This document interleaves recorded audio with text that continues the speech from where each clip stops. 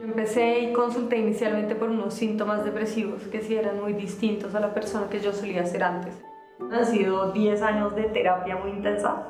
Tenía mucho susto estar medicada el resto de mi vida, estar en terapia el resto de mi vida, pero ya después lo acepté como una parte de mí, una parte que no me define, sino una parte que hace parte de mi historia y de quién soy y estoy orgullosa de las batallas que he librado hasta ahora. Cuando yo me, me convierto, digamos, en, en, paciente de salud mental, empiezo a ir al psiquiatra, empiezo a tomar medicamentos, vivo en carne propia lo que es el estigma de la salud mental, lo que es que la gente te deje sola, que la gente se invente chismes.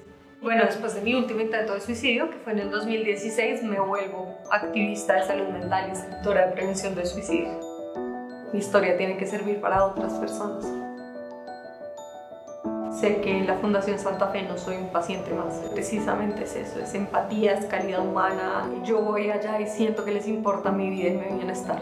La Fundación Santa Fe te da un espacio seguro y te da un espacio donde te van a ver como un ser humano y no como un caso cualquiera.